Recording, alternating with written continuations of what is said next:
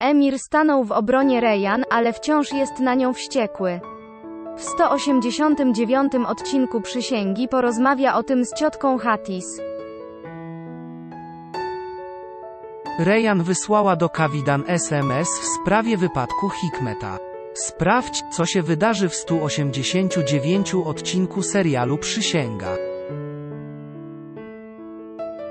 Kawidan, Gul Arkan i Cemre, Cejda Olgun traktowały przy gościach Rejan Ozgejagis jak służącą.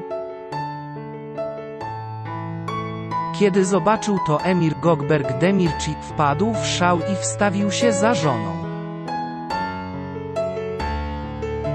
Później Rejan wysłała SMS do Kawidan, w którym zasugerowała, że wie, co zrobiła Hikmentowi, Berkant Muftiuler. 189 odcinku serialu Przysięga Kawidan wpada w panikę. Wcześniej podejrzewała, że ktoś widział, jak uderzyła Hikmeta, ale teraz jest już tego pewna. Wie, że musi zapłacić szantażyście. Emir rozmawia ze swoją matką chrzestną o Rejan. Kobieta wyjaśnia mu, że nie powinien maltretować byłej żony, bo tak jak Rejan nie jest już jego żoną, tak i nie jest poddaną.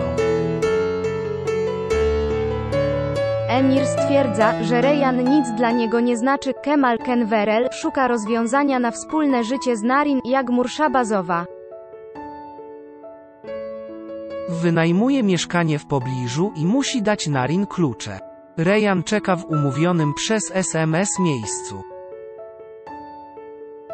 Ma nadzieję, że Kawidan nie przyjdzie i to oznaczałoby, że jest niewinna. Matka Emira pojawia się jednak z torbą pełną pieniędzy. Nagle, zachowającą się Rejan zjawia się Emir. Mężczyzna przeprasza za to, jak ją traktował i stwierdza, że to już się nie powtórzy, bo od tej pory Rejan będzie dla niego tylko krewną jego ojca.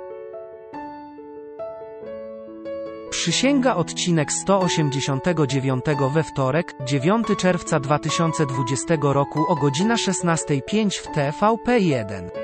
Sprawdź program TV.